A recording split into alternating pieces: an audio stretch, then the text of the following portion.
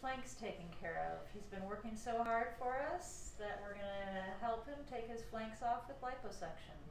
So first thing we're gonna do is mark the area we're gonna treat. So my hands are cold even though it's 100 outside. And we can see that he's very fibrous there. Um, but we really want to get this area and wrap around a little bit to the front. Was he doing, is she doing it first?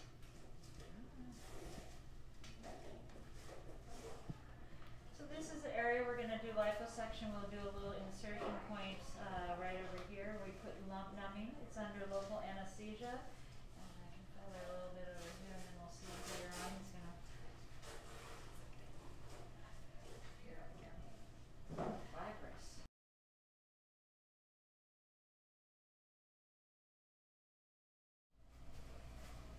So now we're doing the numbing part of the procedure. We're putting tumescent anesthesia in Ephraim's flanks, and he's wide awake, so he's doing well, which is safe, so he can tell me if there's any pain, but we go very slowly and just uh, constantly numb up the area that we're going to take out.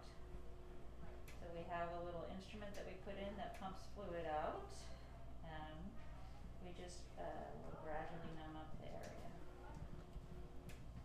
How are you doing, Efren? I'm doing great.